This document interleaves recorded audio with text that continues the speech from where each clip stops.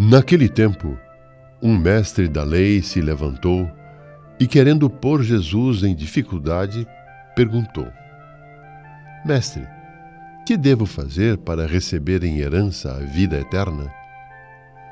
Jesus lhe disse: O que está escrito na lei? Como lês? Ele então respondeu: Amarás o Senhor teu Deus de todo o teu coração e com toda a tua alma, com toda a tua força e com toda a tua inteligência, e ao teu próximo como a ti mesmo.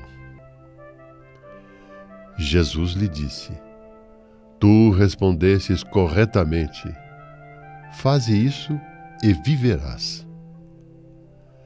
Ele, porém, querendo justificar-se, disse a Jesus: E quem é o meu próximo?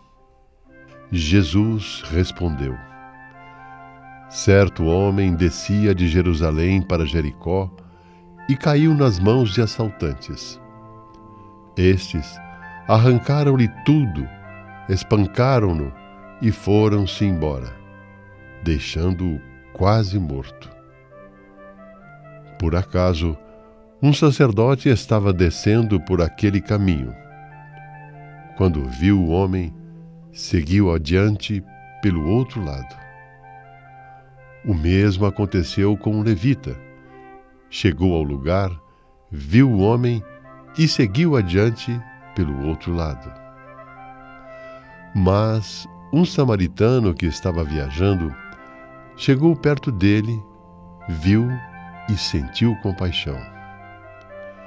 Aproximou-se dele e fez curativos derramando óleo e vinho nas feridas.